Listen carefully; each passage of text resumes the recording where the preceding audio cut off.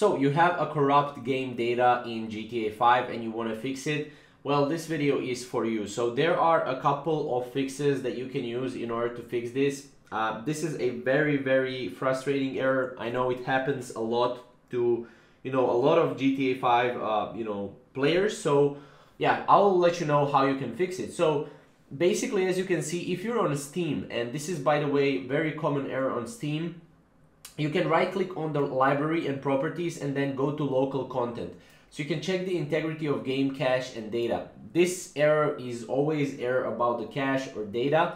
So make sure to check it out in Steam if you're in Steam. If you're not in Steam, run GTA 5 setup utility and then click restore. Now you can find this on the internet. You have GTA 5 setup utility. You can click restore.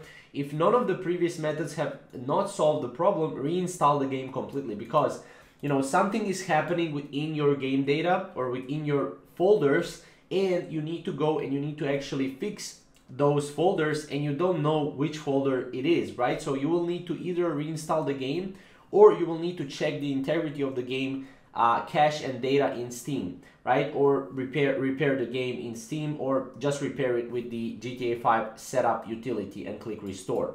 Now, additionally, I've tried to fix this error during the, uh, you know, two years ago when I was just doing the GTA Online and when I was playing GTA Online. And uh, basically one thing that tried uh, or that helped me is try to re downloading the files game completely. So uh, or the game files completely sorry.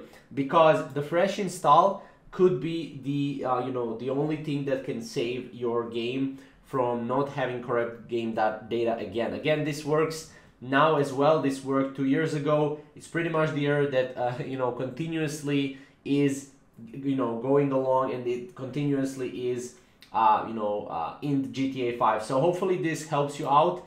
Uh, again if you have any questions or comments comment down below and we'll see you in the next video